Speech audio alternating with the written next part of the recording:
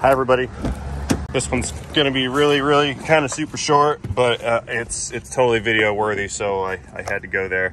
Um, I'm not kidding, can't make this up. Customer states he thinks he needs a belt.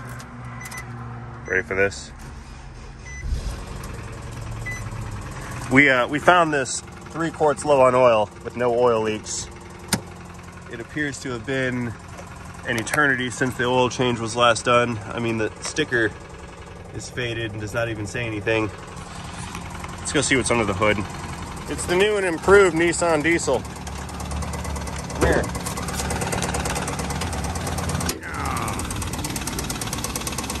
Yeah. Yeah, there's almost no leaks in here.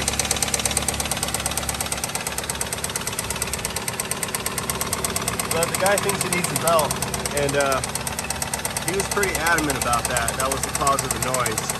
Maybe because you can hear it, like over here, towards the belt, or someone told him he needs a belt, or the forum told him he needs a belt.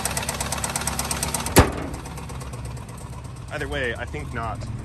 I guess the noise kind of goes away when you put it in drive. Oh, there we go.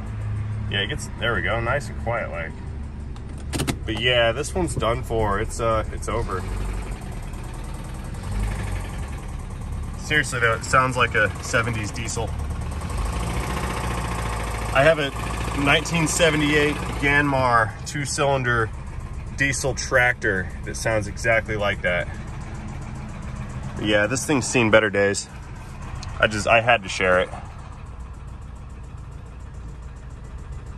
Because it's broken. 177,000 miles. What a shame. Powering down. Pew. Thanks for watching. See you guys later.